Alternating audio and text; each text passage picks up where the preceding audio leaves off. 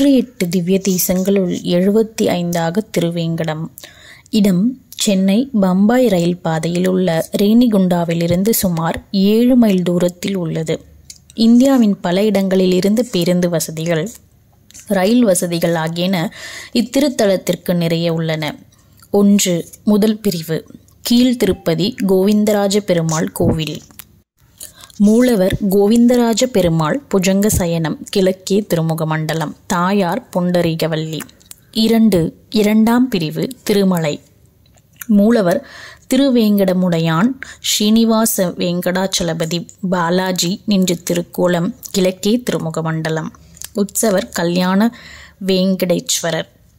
தீர்த்தம் சோசல சுவாமி புஷ்கரணி பாபவிநாச நீர்வீழ்ச்சி ஆகாச கங்கை கோனேரி தீர்த்தம் பதினாலு தீர்த்தங்கள் வைகுண்ட தீர்த்தம் சக்கர தீர்த்தம் ஜாபாலி தீர்த்தம் வருண தீர்த்தம் ஆகாச கங்கை பாப பாபவிநாசம் பாண்டவ தீர்த்தம் குமாரதாரை ராமகிருஷ்ண தீர்த்தம் தும்புரு தீர்த்தம் சேஷ தீர்த்தம் சீதம்ம தீர்த்தம் உள்ளன. விமானம் ஆதந்த நிலைய விமானம் பிரதக்ஷம் தொண்டைமான் ஆறுமுகன். மூன்று மூன்றாம் பிரிவு.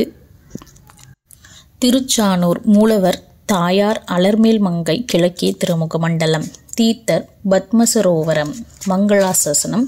பெரியாழ்வார் ஆண்டாள் குழசேக்கராழ்வார் திருமழிசை ஆழ்வார் திருப்பானாழ்வார் திருமங்கையாழ்வார் பொய்கையாழ்வார் பூதத்தாழ்வார் பேயாழ்வார் நம்மாழ்வார். ஆந்திராவில் உள்ள இந்த திவ்ய தேசத்திற்கு இந்திய நாடே இன்று வந்து போய்கொண்டிருக்கிறது திருப்பதி திருமலையில் மூலவராக திருவேங்கடமுடையான் என்ற திருக்கோலத்தில் கிழக்கு நோக்கி சேவை சாதிக்கிறார். இவருக்கு ஸ்ரீனிவாசன் என்ற பெயரும் உண்டு. உற்சவர் கல்யாண வெங்கடேஸ்வரர் ஏழுமலை மேல் எழுந்தருளியிருக்கிறார்.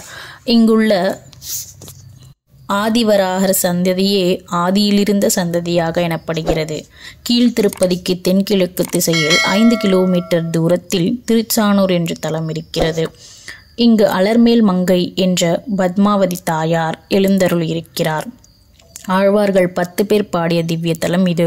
திருமகள் வைகுந்தத்தில் ஒரு சமயம் சினம் கொண்ட வராகி பூ உலகத்தில் ஆகாசராஜன் மகளாக அவதரித்தாள். பெருமாள் இங்கு ஸ்ரீனிவாசனாக தோன்றி பத்மாவதியை மனம் கொண்டார். பின்பு திருவேங்கடநாதனாய் மலைமேல் நின்றதாக புராண வரலாறு உள்ளது. இங்கு ஏழு மலைகளுக்கிடையில் பெருமாள் எழுந்தருளியிருக்கிறார் அவை வெங்கடாத்ரி சேஷாலம் வேதாசலம் கருடாசலம் விருஷபாத்ரி அஞ்சனாசாத்ரி ஆனந்த தாத்ரி என்பனவாகும். அதனால் சப்தகிரி எனவும் இத்தலம் பெயர் பெறும்.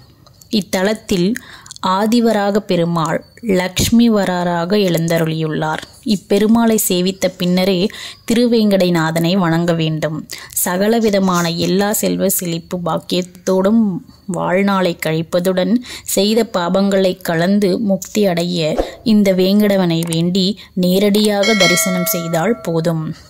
வேங்கடவன் வேண்டியதை செய்து அருள் பாலிப்பார்.